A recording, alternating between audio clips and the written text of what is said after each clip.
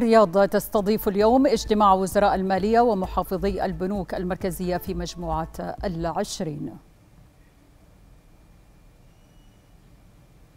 صندوق التنمية الزراعية يعتمد عددا من القروض التمويلية بقيمة 60 مليون ريال أسعار النفط تعوض جزء من الخسائر بارتفاعها بأكثر من 1%.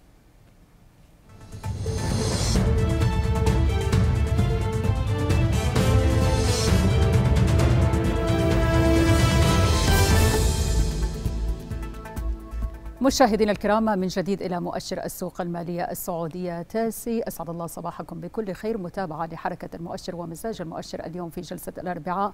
طبعا مشاهدينا الكرام يعني نتذكر أنه مع فيروس كورونا الذي لم يوقف فقط الحياة الاجتماعية ولكنه امتد لكل جوانب الحياة وخاصة الجوانب الاقتصادية والمالية ربما في العالم أجمع. أصبح هذا الصراع مع هذا الفيروس هو المحرك الأساسي لجميع الأسواق العالمية وتذبذبات هذه المؤشرات. اذا حتى البيان البيانات الاقتصادية لم تعد أيضا قادرة على إحداث أي تغيير مقابل آه، فيروس كورونا. حتى الشركات المدرجة أعلنت بأكثر من 11 شركة من قطاعات مختلفة عن تعذرها وعدم قدرتها على تحديد حجم الأثر المالي على أعمالها نتيجة هذا الفيروس. إذا مشاهدينا الكرام لنشاهد هذا الفيروس وما هو الأثر المباشر ل آه، أداء المؤشر اليوم في جلسة الأربعاء بعد ارتفاع يقلص هذه الارتفاعات أو المكاسب الطفيفة التي سجلها في جلستين آه، تقريبا الماضية آه، ليواصل أو يقف عند نقطة الدعم 6865 لم يستطع مقاومة النقطة العنيدة 6700 نقطة. متراجع حتى الآن بقرابة الربع في المئة تقريبا وتسعة نقاط إلى عشر نقاط. هذا التراجع الطفيف ربما أثر عليه بعض التعليق والإيقاف المؤقت وأيضا منع التجول والتباعد الاجتماعي أيضا الذي نشاهده الآن. هناك بعض الشركات كسهم شركة سيرة السهم الذي شهد انخفاض حاد أيضا في مستوى الطلب في قطاع السياحة والسفر بعد توقف الطلب تماما على قطاعي الحج والعمرة بالإضافة إلى طبعا بعض القيود المفروضة على السفر في الداخل والخارج. إذا مشاهدينا الكرام لعل هذه الأخبار جميعها والعوامل الداخلية والخارجية. وفي المقدمة تعتبر آه، فيروس كورونا تؤخذ في الحسبان عند النظر إلى أداء المؤشر أو تذبذب أداء المؤشر بشكل يومي أو بشكل لحظي. إذا دعونا أيضا نشاهد حجم التداول حتى الآن 48 مليون سهم قيمة التداول التداول حتى الآن لم تتجاوز المليار ريال. هناك آه، تقليص للتداولات أو حجم التداول في جلسة أمس إلى أكثر من 3 مليار مقارنة ب 5 مليار كانت في آه، مستهل جلسات هذا الأسبوع. ولكن معظم هذه السيولة كانت هي ضغوط بيعية أكثر من القوة الشرائية. هل ستنتهي سلسلة المكاسب أو سيتوقف السوق عند سلسلة المكاسب الطفيفة التي سجلها في الجلسات الماضية خاصة في ظل آه، استضافة أو آه، يعني سيستمر في هذه المكاسب وسيعود من جديد إلى التلون باللون الأخضر خاصة في ظل استضافة اجتماع وزراء المالية ومحافظي البنوك المركزية في مجموعة العشرين في الرياض اليوم. إذا إلى أخبار الشركات أيضا لنشاهد هذه الأخبار التي كما ذكرنا مسبقا أعلنت أكثر من 11 شركة عن تعذرها وعدم قدرتها على تحديد حجم الأثر المالي على أعمالها نتيجة تأثر نشاطها بالتعليق والإيقاف المؤقت نتيجة فيروس كورونا وأيضا منع التجول والتباعد الاجتماعي. لنبدأ مشاهدينا الكرام مع الشركة التالية لنشاهد أيضا ماذا عن الشركات. ولكن قبل أن نبدأ في أخبار الشركات لنذكر أنه يشهد السوق السعودي اليوم إدراج وبدء تداول أسهم شركة بحر العرب لأنظمة المعلومات بالرمز 7201 في قطاع تقنية المعلومات على أن تكون نسبة التذبذب اليومي لسعر السهم 10% طبعا هذا السهم يعد سادس شركة تنتقل من السوق الموازية نمو إلى السوق الرئيسية تاسي بعد سهم الكثيري وسهم أيضا ثوب الأصيل وأيضا سهم أبو معطي وريدان الغذائية وبعظيم كان آخر هذه الأسهم. إذا مشاهدينا الكرام لنشاهد أيضا عن تصويت الجمعية العامة غير العادية لشركة نادك يوم الثلاثاء الموافق الخامس من مايو على عدد من البنود. كان من بينها لهذه الشركة البنود التي صوتت عليها. أولا هو زيادة رأس المال من 847 مليون ريال إلى أكثر من 1016 مليون ريال عن طريق منحة أسهم منحة بنسبة 20% إذا لنشاهد نادك تسجل ارتفاع بحوالي قرابة الأربعة عشر في المئة ليصل سعر السهم إلى 27 ريال وثمانين هللة ننتقل أيضا إلى شركة الزامل التي حددت هي أيضا آه هذه الشركة التي تعمل في الاستثمار الصناعي حددت يوم الخميس السابع من مايو موعد لإنعقاد الجمعية العامة غير العادية للتصويت على شراء الشركة لعدد من الأسهم بحد أقصى 3 ملايين سهم. جاء ذلك بسبب الاحتفاظ بهذه الأسهم كأسهم خزينة. أيضا أوضحت هذه الشركة في بيان لها على تداول أن نسبة الأسهم لن تتعدى 5% من الأسهم المصدرة وبقيمة لا تتعدى أيضا أو لا تتجاوز 50 مليون ريال وذلك بغرض فقط المحافظة. على استقرار سعر السهم. إذا لنشاهد السهم الآن في هذه الجلسة أو في هذه اللحظة عند 14 ريال كما نشاهد متلون باللون الأخضر ومسجل ارتفاع بحوالي 4 إلى 15% ماذا أيضا عن شركة سيسكو؟ الشركة السعودية للخدمات الصناعية أيضا التي وافقت هذه الجمعية على توصية مجلس إدارتها بتوزيع أرباح نقدية على المساهمين بنسبة 6% من رأس المال بواقع تقريبا 60 هللة للسهم الواحد الذي نجده الآن عند 18 ريال و28 هللة. عن عام 2019 ننتقل أيضا إلى الشركة الأخرى شركة سويكورب ريت التي انخفضت أرباحها إلى تقريبا أكثر من 5 مليون ريال. بنهاية الربع الأول كما نشاهد 5 مليون و100 ألف ريال. وبلغ الدخل من العمليات التشغيلية قرابة العشرة مليون ريال 9 مليون و740 ألف ريال. إذا جاءت هذه الدخل من العمليات التشغيلية وانخفاض الأرباح جاء بسبب مصاريف استهلاك تجاوزت التسعة مليون ريال تقريبا. ماذا عن هذه الشركة أو سهم الشركة؟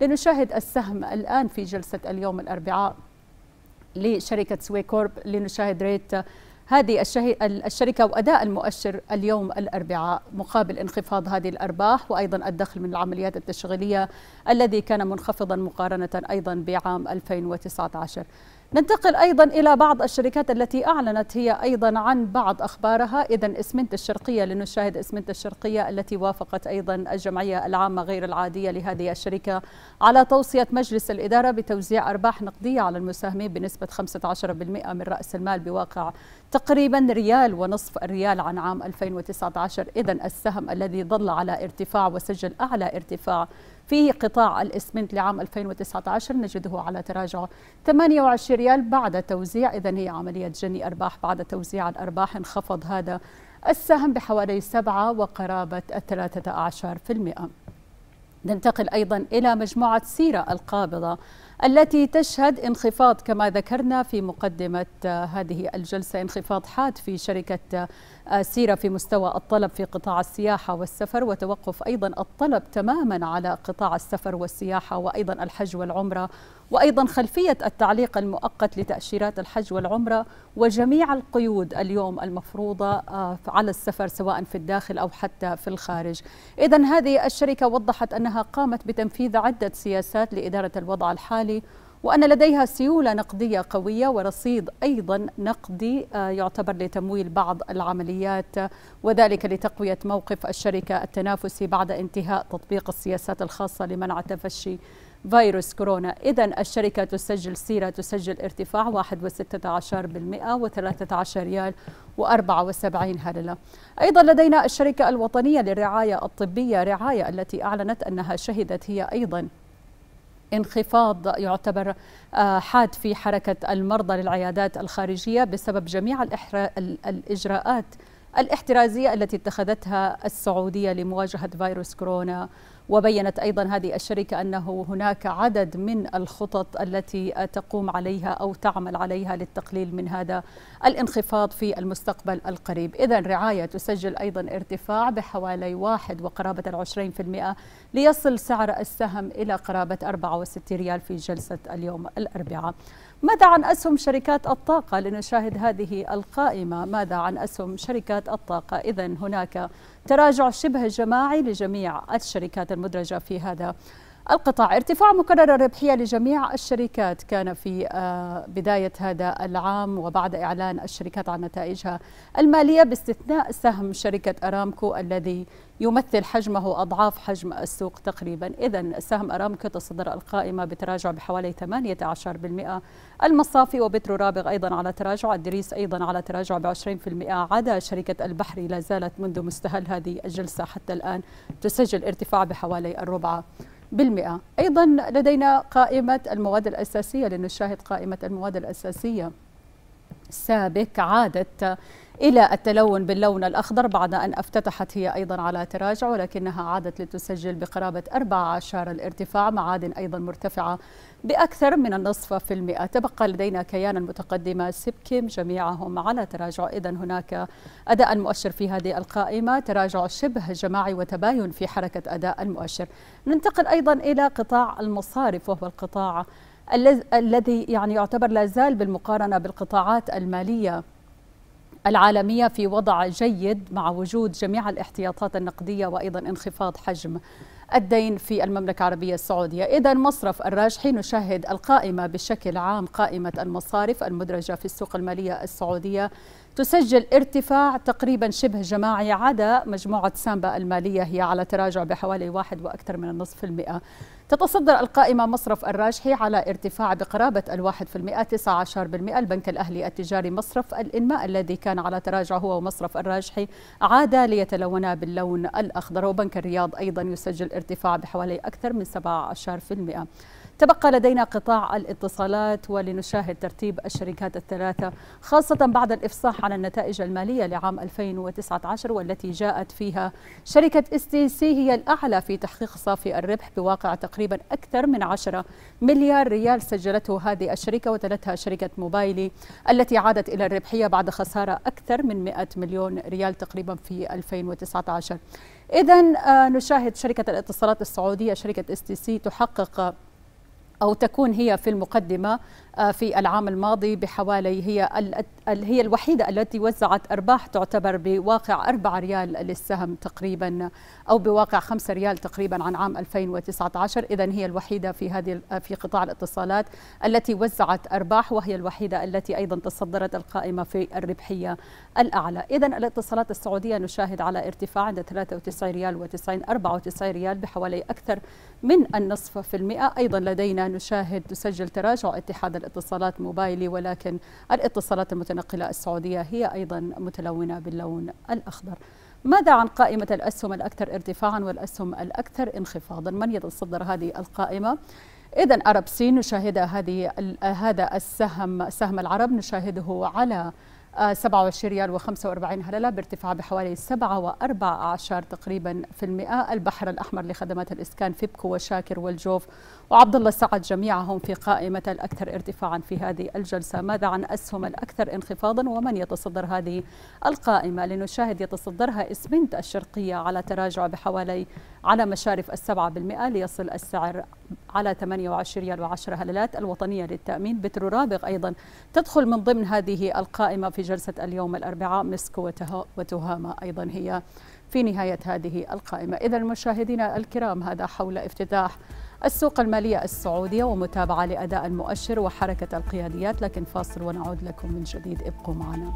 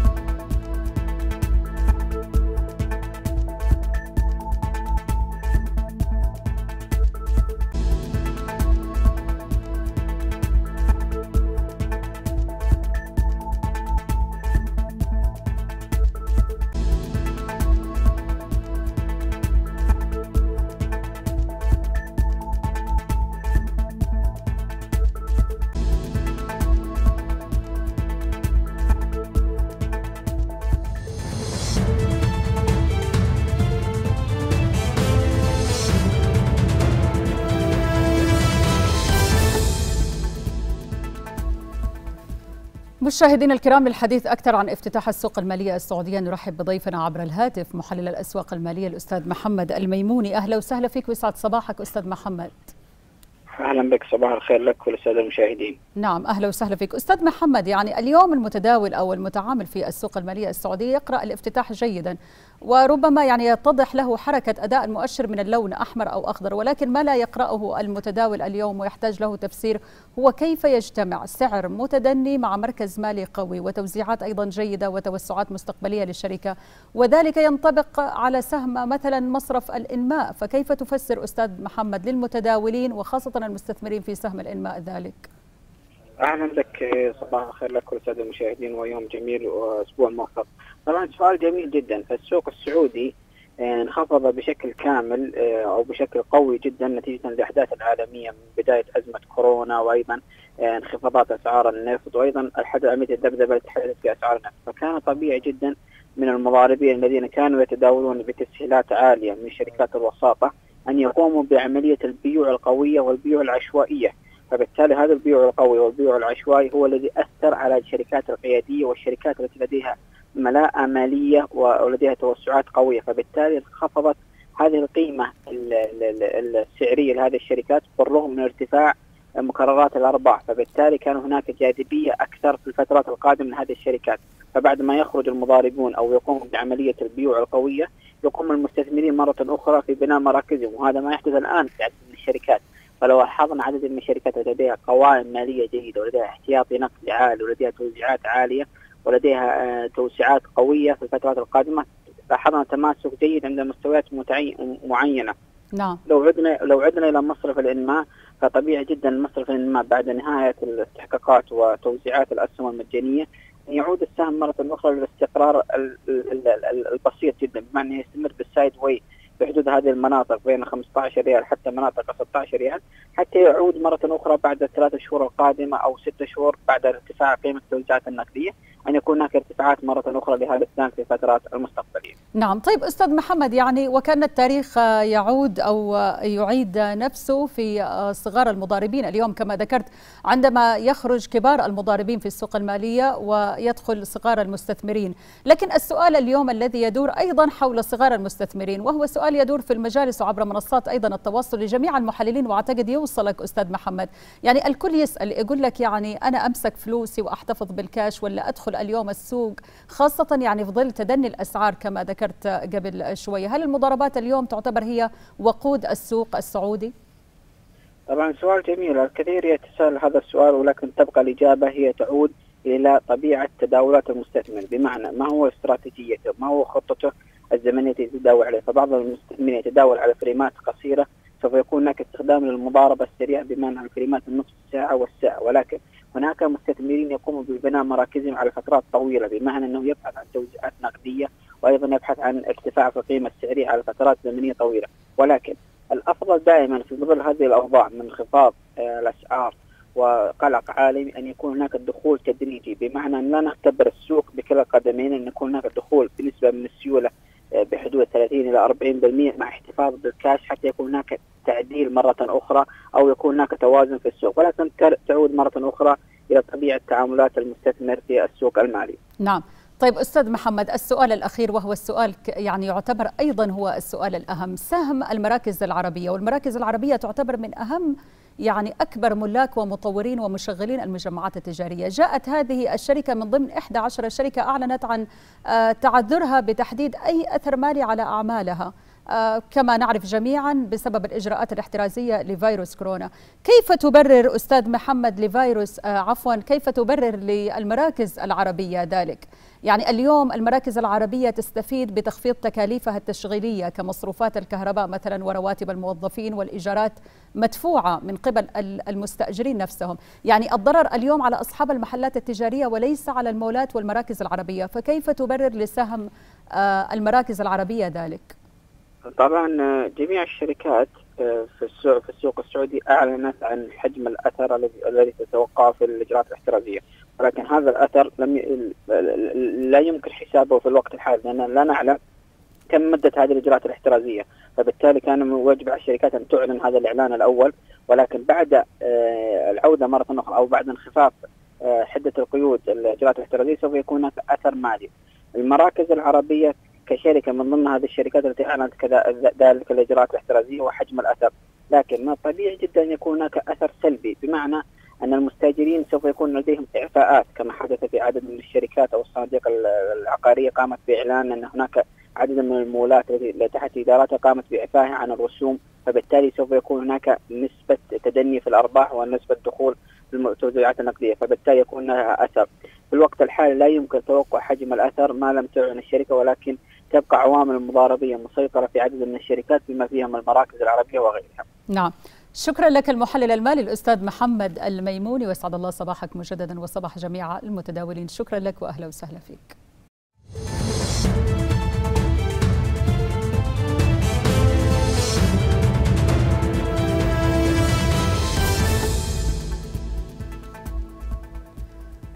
قرر مجلس الوزراء في جلسته أمس عبر الاتصال المرئي برئاسة خادم الحرمين الشريفين الملك سلمان بن عبد العزيز ال سعود رئيس مجلس الوزراء عدم احتساب فترة تعليق الرحلات الجوية الدولية التي اتخذتها الحكومة ضمن الإجراءات الاحترازية لمنع تفشي فيروس كورونا في المملكة من مدة تأشيرة الزيارة لغرض السياحة السارية التي لم يستفاد منها أو التي صاحبها داخل المملكة أثناء التعليق ولا من مدة بوليصة التأمين.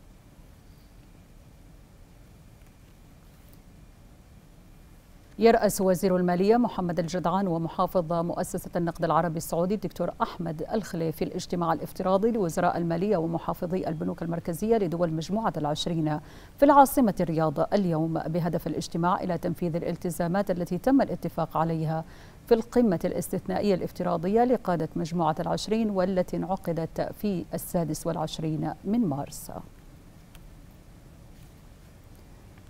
كشف الرئيس التنفيذي المكلف لبنك التصدير والاستيراد السعودي نايف الشمري أن البنك يعتزم تقديم منتجات إضافية تضمنت منتج ما بعد التصدير والذي يتم عبره تمويل المصدر المحلي بما يصل إلى 90% من قيمة الفاتورة الآجلة وأشار إلى أن ما يقارب 40% من الشركات المعتمد تمويلها عبر مبادرة تعزيز تمويل الصادرات كانت لمنشآت صغيرة ومتوسطة وأن المنتجات المتاحة حاليا عبر البنك تتمثل في منتجي التمويل السابق للتصدير وتمويل المشتري الأجنبي للسلع والمنتجات المحلية. كشف الأمين والمتحدث باسم لجنة تنظيم السكن العمالة الدكتور أحمد قطان عن تشكيل لجنة معنية بأوضاع السكن العمالة مكونة من ثمانية جهات. برئاسة وزارة البلدية والشؤون القروية وأوضح أن اللجنة اتخذت بشكل عاجل إجراءات سريعة للحد من انتشار فيروس كورونا في أماكن تجمع سكن العمالة منها إطلاق بوابة إلكترونية لبناء قاعدة بيانات للسكن البديل أو العقارات التي تصلح سكن بديل للعمالة ودعا جميع فئات منشآت القطاع الخاصة التي لديها سكن عمالة إلى أهمية الحرص واتخاذ الإجراءات اللازمة في لائحة اشتراطات سكن العمالة وذلك بتحسين أوضاع السكن بشكل عاجل.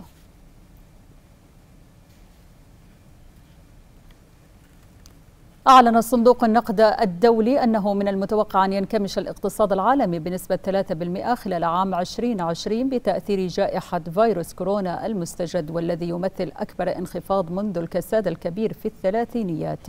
وتوقع صندوق النقد الدولي انتعاشا جزئيا في عام 2021 مع نمو الاقتصاد العالمي بمعدل 5.18% لكنه قال أن توقعاته تتميز بعدم اليقين الشديد وأن النتائج قد تكون أسوأ بكثير اعتمادا على مسار الوباء.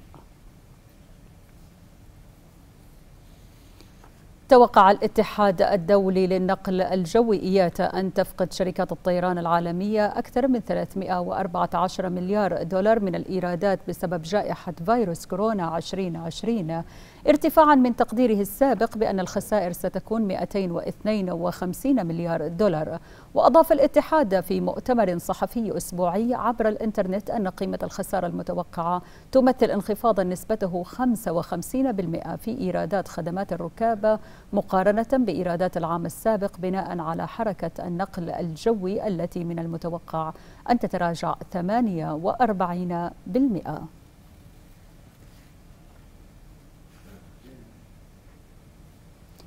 عمليات تسريح العمالة في الشركات الأمريكية الصغيرة ترتفع بنسب عالية خلال شهر مارس الماضي نظير تداعيات فيروس كورونا. التفاصيل مشاهدينا الكرام في التقرير التالي. لا تبدو الولايات المتحدة تعيش فقط الويلات الصحية والطبية بسبب تفشي فيروس كورونا بل تجاوز الأمر إلى التأثيرات الاجتماعية المرهقة للحكومة والشعب نفسه. وفي مقدمة ذلك فقدان 16 مليون أمريكي وظائفهم حتى الآن. الاستطلاعات الأخيرة تشير بعد مسح شارك فيه أكثر من مئة ألف شركة أمريكية صغيرة إلى أن تلك الشركات وموظفيها أكثر من تضرر من الأزمة الحالية. فقد بلغ تسريح العمالة في الشركات الأمريكية الصغيرة أكثر من ألف في المئة خلال الشهر الماضي فقط مما اضطر إلى خفض ساعات العمل وتقليص رواتب الموظفين متأثرة بتراجع الطلب وتوقف النشاط الاقتصادي جراء تفشي فيروس كورونا. ووفقا لبيانات صادرة عن شركة جوستو للموارد البشرية أن عدد الموظفين في الشركات الصغيرة انخفض بنسبة بلغت 3.7% في الشهر الماضي أي ما يعادل أكثر من مليوني شخص. هذه التسريحات تعطي إشارات بأن المستقبل ضبابي وأنها تشك بإمكانية عودة الاقتصاد إلى العمل بشكل سريع وبالتالي ستفكر بتخفيض النفقات وأول ما يفكر دائما هو بتخفيض النفقات عبر تسريح الموظفين لأن تكلفة الموظفين في العادة هي الأكبر. مجلة فورين بوليس الأمريكية قالت إن فيروس كورونا أدى إلى تغيير الحياة الاقتصادية بشكل كبير في جميع أنحاء أوروبا والولايات المتحدة خاصة. فقد شهدت أمريكا انهيارا في الاستهلاك بسبب إنفاق الناس لأموال أقل الأمر الذي بات يهدد بقاء مجموعة كبيرة من الشركات وعلى رأسها الشركات الصغيرة. وأدى ذلك بدوره إلى انهيار مفاجئ وغير مسبوق في الطلب على العمالة. إذ شهدت الولايات المتحدة ارتفاعا كبيرا في نسبة البطالة بنسبة تبلغ حوالي 4% في أدنى مستوياتها منذ خمسين عاما. للإخبارية أحمد القرني واشنطن. ارتفعت مخزونات النفط في الولايات المتحدة بمقدار أكثر من 13 مليون برميل خلال الأسبوع الماضي بينما توقع محللون ارتفاعا قدره أكثر من 10 مليون برميل كما ارتفعت مخزونات البنزين بأكثر من 2 مليون و200 ألف برميل خلال الأسبوع الماضي وصعدت مخزونات نواتج التقطير بنحو أكثر من 5 مليون و600 ألف برميل. ارتفعت أسعار النفط وسط آمال من جانب المستثمرين بأن تنجح اتفاقية أوبك بلس لخفض الإنتاج في توازن الأسعار مرة أخرى حيث ارتفعت العقود الآجلة لخام برنت القياسي تسليم يونيو بنحو 21% إلى 29 دولار و93 سنتا للبرميل كما صعدت عقود خام نايمكس الأمريكي تسليم يونيو بنسبة 2% إلى 20 دولار و52 سنتا للبرميل. مشاهدينا الكرام وصلنا إلى نهاية هذه الفترة لكننا مستمرين معكم ولكن نذكركم لسلامتكم دائما. ابقوا في المنازل. هو السلاح الأقوى بإذن الله لمواجهة فيروس كورونا كلنا مسؤول وأزمة وتعدي بإذن الله. شكرا لطيب المتابعة وإلى اللقاء.